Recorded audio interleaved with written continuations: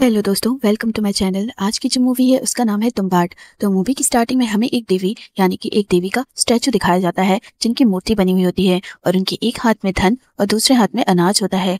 ये देवी जब हमारी इंसानी दुनिया शुरू होने वाली रहती है, उससे पहले ही बहुत सारे बच्चों को जन्म देती हैं और इनके सबसे पहले पुत्र का नाम था हस्तर, जिसे ये सबसे ज़्यादा प्रेम करती थी। लेकिन हस्तर बहुत ही बुरे विचारों वाला था। उन्होंने देवी से उनका सारा धन छीन लिया था और जैसे ही हस्तर अनाज की तरफ़ बढ़ने लगा, सभी देवताओं ने उसके ऊपर हमला कर दिया, जिससे हस्तर मरने लगा। लेकिन देवी ने उसे अपने कोख में पनाह दी और हस्तर को बचा लिया। इसके बदले उसे यह सजा मिली कि उसकी कोई भी पूजा नहीं करेगा, यानी कि कोई भी उसका नाम नहीं लेगा। ऐसा करने पर उसके ऊपर देवताओं का श्राप लगेगा। बहुत सालों बाद हमें एक गाँव को दिखाया जाता है और इस गाँव में लोगों ने अपनी चुल्ल के कारण उस हस्तर की पूजा करना स्टार्ट कर दिया, जिससे देवताओं का कहर उस पूरे गाँव पर बरसने लगा। उस गाँव में हमेशा आंधी, तूफ़ान और बारिश लगी ही रहती। गाँव के लोगों ने हस्तर का मंदिर बना के देवताओं का श्राप अपने ऊपर ले लिया था, इसीलिए उस गाँव में कुछ भी अच्छा नहीं होता था। अब बहुत साल बीत जाते हैं और हमें सरकार का वाड़ा दिखाया जाता है, जहाँ पर एक औरत बहुत ही डरी सहमी खड़ी हुई रहती है। इस सरकार के वाड़े में अब सिर्फ़ एक ही पंडित ज़िंदा था, उसका नाम सरकार था। इसीलिए इस जगह को सरकार का वाड़ा कहा जाता था। अब वो औरत उससे पूछती है कि गोल्ड का कॉइन मुझे कहाँ से मिलेगा? जिस पर सरकार उसे कहता है कि गोल्ड का कॉइन इतनी आसानी से नहीं मिलेगा। उसके लिए बहुत सारी कुरानियाँ दी पड़ती है। अब हमें इस औरत के घर को शिफ्ट कराया जाता है और दो लड़कों को दिखाया जाता है, जिसमें से एक का नाम विनायक राव और दूसरे का नाम सदाशिव राव था। ये दोनों उसके बच्चे थे और ये दोनों दौड़कर अपने घर वापस जा रहे थे, क्योंकि शाम होने वाली होती है और ये बात कर रहे होते हैं कि माँ अभी तक नहीं आई है, इसीलिए दादी को खाना कौन देगा? जिस पर ये दोनों अकेले ही दादी को खाना देने के लिए जाते हैं। असल में इनकी दादी एक बहुत ही भयानक रोग से ग्रसित हो गई है, जिससे उनकी पूरी बॉडी चली हुई और बहुत ज़्यादा भयानक दिखती है। अभी दोनों लड़के डिसाइड करते हैं कि अकेले ही दादी को खाना देंगे और जैसे वो खाने उनकी माँ वहाँ पे आ जाती है और जाके दादी को खाना दे देती है, लेकिन उनका लड़का उनसे गोल्ड कॉइन के बारे में पूछता है। अब यहाँ हमें खबर मिलती है सरकार के बारे में, सरकार की मृत्यु हो गई है। यानी सरकार एक अकेला पंडित था और वो भी अब इस दुनिया में नहीं रहा था। वो औरत अपने दोनों बच्चों को लेकर उस गाँव को छोड़ने का फैसला करती है और यहाँ पर हमें पता चलता है की सरकार के वाड़े से यानी सरकार के दिए हुए कॉइन से ही इनका घर चला करता था। अब वो नहीं है, इसीलिए वो अपने बेटों को ये गाँव छोड़ करके जाने के लिए कहती है। अब सीन शिफ्ट होता है और हम देखते हैं की उस लेडी का एक बच्चा शिव राव पेड़ पर बैठा हुआ है और अचानक से पेड़ की डंडी टूट जाती है और उस राव अपनी माँ को जल्दी से बुलाकर लाता है। जिसके बाद विनायक राव की माँ अपने बच्चे को उठाकर वैद्य के पास ले जाने लगती है। तब उससे बच्चा उसका पूछता है कि, माँ, अगर दादी को भूख लगेगी तो मैं क्या करूँगा? तो उसकी माँ उसे कहती है कि, तुम उसे खाना दे देना। अगर वो उससे ज़्यादा परेशान करे तो उससे कहना की, दादी, सो जा वरना हंसतर आ जाएगा। और इतना कहते ही वो अपने बच्चे को लेकर के बैठ के पास जाने लगती है। यहाँ पे विनायक राव दादी के पास आता है और उसे खाना देने की कोशिश करता है। लेकिन वो सोचता है कि, मैं दादी को खाना दूँगा और उनसे पूछ लूँगा कि सारा गोल्ड का कॉइन कहाँ रखा हुआ है, जिसका पता सिर्फ़ और सिर्फ़ दादी जानती है। विनायक राव डरते डरते दादी के कमरे में आता है और वो उसे खाना देने वाला था। लेकिन दादी विनायक राव का पैर पकड़ लेती है और उसे घसीटने लगती है। यहाँ पर विनायक राव बहुत ही ज़्यादा चीखता चिल्लाता है, लेकिन कोई भी उसकी बात सुनने वाला नहीं होता है। और यहाँ पे वो उस नाम को याद करने की बहुत ज़्यादा कोशिश करता है, जो कि उसकी माँ ने बताई होते हैं। लेकिन विनायक राव को कुछ भी याद नहीं आता। अब जैसे ही दादी उसका सर कलम करने वाली होती है, तभी उसको याद आ जाता है और वो बोल जाता है कि, दादी सो जा, वरना हंसतर आ जाएगा। इतना सुनते ही दादी सो जाती है और तभी विनायक राव की माँ वहाँ पर आ जाती है और उसे बचा लेती है।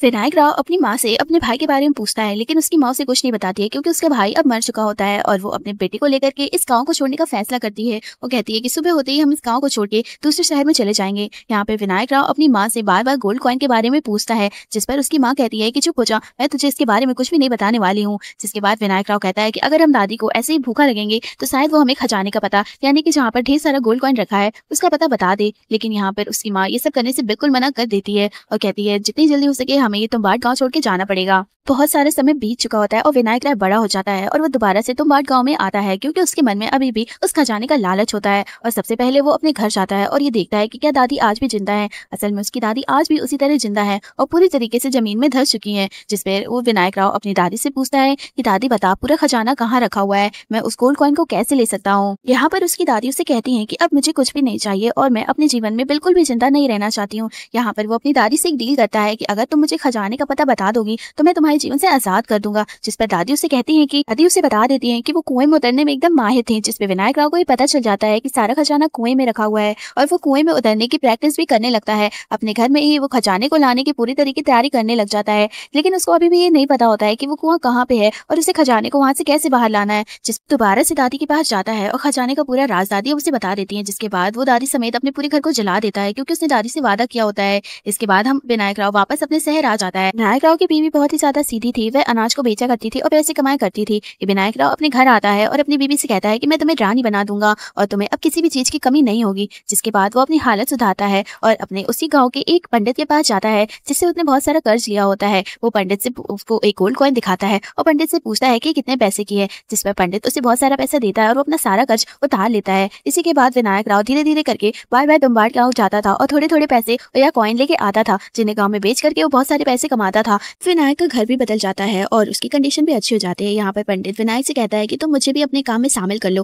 क्योंकि उस पंडित के मन में भी बहुत सारा लालच आ गया था उन गोल्ड कॉइन को देख के, जिसपे विनायक राव उसे अपने साथ मिलाने से बिल्कुल इनकार कर देता है। यहाँ पर विनायक राव उस पंडित को कुछ भी नहीं बताता है, लेकिन उस पंडित के मन में जो लालच था, वो उसे जीने नहीं दे रहा था। वो भी सोचता है कि वो तुम बाट गाँव जाएगा और ढेर सारा कॉइन लेके आएगा, इसीलिए वो एक औरत को पैसे देके विनायक राव के पास छोड़ देता है। लेकिन वो औरत और पैसे के लालच में विनायक राव को सब कुछ सच सच बता देती है कि कैसे वो पंडित उसको यहाँ पे छोड़ दिया है। अब इसके बाद हमें तुम्बाड़ गाँव का सीन दिखाया जाता है, जहाँ पर वो पंडित, यानी कि सरकार के बारे में आ चुका होता है और विनायक राव भी वहीं पर मौजूद होता है। यहाँ पर विनायक राव पहले से ही मौजूद होता है और वो उस पंडित को जान के दिखाता है की वो कैसे तैयारी करता है। वो पंडित को दिखाता है की वो एक कुएँ के अंदर गुजर रहा है और वहाँ से बहुत देर बाद ढेर सारी गोल्ड की कॉइन लेके आ रहा है। पंडित भी विनायक राव की देखी देखी उस कुएँ में उतरता है और जब वो कुएँ में उतर रहा था तो पूरे कुएँ में चारों तरफ़ अंधेरा अंधेरा था और उस कुएँ की दीवारें लाल कलर की नहीं रेड कलर की थी और यहाँ पे साफ़ पता चलता है कि कोई सांस ले रहा है, जिसपे वो पंडित जैसे ही अंदर उतरता है तो एक डिब्बे में देखता है कि एक आटे से बनी गुड़िया है। वो जैसे उसको उठाता है, हस्तर को उसकी खुशबू आ जाती है और हस्तर उस गुड़िया के साथ साथ उस पंडित को भी खा जाता है,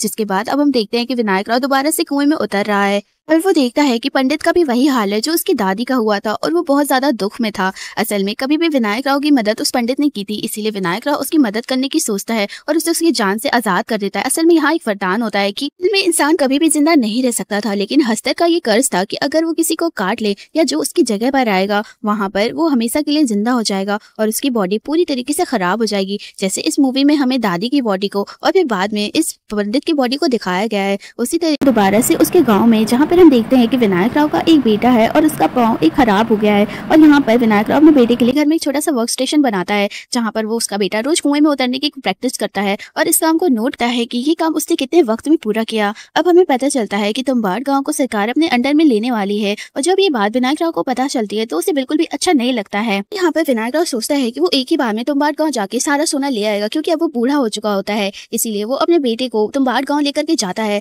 और उसे पूरी विधि बताता है। वो तुम्बाड़ गाँव पहुँच करके उसे आटे की गुड़िया बनाना सिखाता है और उसे कहता है, इसमें तुम पत्थर के भी कुछ टुकड़े मिला दो, ताकि हस्तर उसको खाने में टाइम लगाएगा और हमें ढेर सारे कॉइन्स उठाने का मौका मिल जाएगा। यहाँ पर हम देखते हैं कि दोनों विनायक राव और उसका बेटा कुएँ में उतरने जाते हैं। कुएँ में उतरकर विनायक राव का बेटा एक गुड़िया को अपने पास ही रख लेता है, लेकिन हस्तर को उसकी सुगंध आ जाती है और वो विनायक राव के बेटे के ऊपर हमला कर देता है। और यहाँ पर हम देखते हैं कि विनायक राव के बेटे ने ढेर सारे कॉइन्स को इकट्ठा कर लिया है।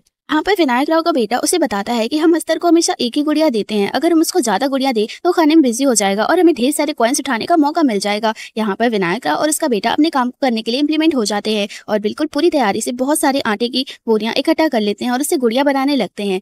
वो मिलकर के बहुत सारी गुड़िया को बना लेते हैं और वो कुएँ के बाहर भी एक आटे की गोल से चक्र बना देते हैं ताकि अगर हस्तर आ भी जाए तो उसके बाहर ना निकल पाए। इसके बाद वो दोनों कुएँ में उतर जाते हैं और वहाँ पर दूर गुड़िया रख देते हैं। लेकिन यहाँ पे तो कुछ गजब ही हो जाता है। हम देखते हैं कि एक गुड़िया के लिए एक हस्तर आता था, वहीं पे सौ गुड़िया के लिए सौ हस्तर आ जाते हैं। लेकिन वो आटे के दायरे को पार नहीं कर पाते हैं, क्योंकि हस्तर के ऊपर ही कर्ज होता है कि वो सारा सोना तो ले लेता है, लेकिन वो जैसे अनाज की तरफ़ बढ़ता है तो सारे देवताओं उसके ऊपर हमला कर देते हैं, इसीलिए वो आटे को कभी भी पार नहीं कर सकता था। लेकिन यहाँ पे तो इंसान खुद ही हस्तर को अनाज दे रहे थे तो वो अनाज क्यों ना खाए? वो सारी गुड़ियाओं को खाने को दे देते हैं, और यहाँ पे विनायक राव और इसका बेटा उस चक्र के अंदर ही इंतज़ार करने लगते हैं कि जैसे ही सारी गुड़िया खत्म हो तो हस्तर की तादाद भी खत्म हो और वो वहाँ से सोना लेके जा सके। लेकिन अभी भी उनके पास एक बड़ी गुड़िया बची हुई थी, जिससे वो छोटी छोटी गुड़िया बना के विनायक राव अपने शरीर पर बाँध लेता है, क्योंकि यहाँ पर उन दोनों में से किसी एक का सेक्रीफाइस करना ज़रूरी होता है, इसीलिए विनायक राव अपने आप को सेक्रीफाइस कर देता है। यहाँ विनायक राव अपने बेटे को बचा लेता है, विनायक राव उन सारे हस्तर के बीच में टूट पड़ता है और सारे हस्तर जब विनायक राव से टकराते हैं